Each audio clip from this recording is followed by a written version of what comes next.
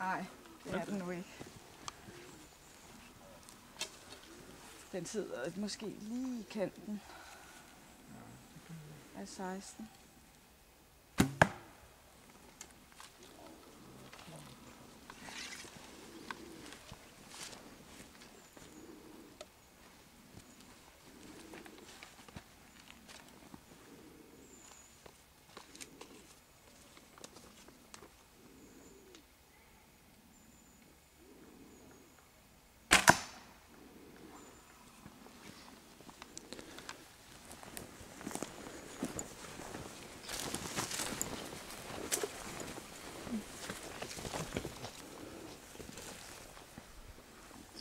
Ja, hvad heter du?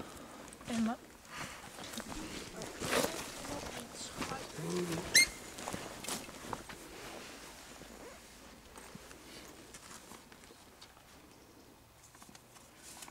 Og jeg får en 16.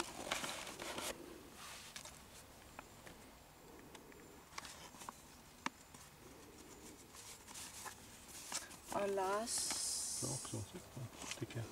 Er det en Den, 16? den går over linjen der. Ja, ikke? Så er den på halvt. Ja. To- hvad? 12 eller 16? 16, Ja, 16, ikke?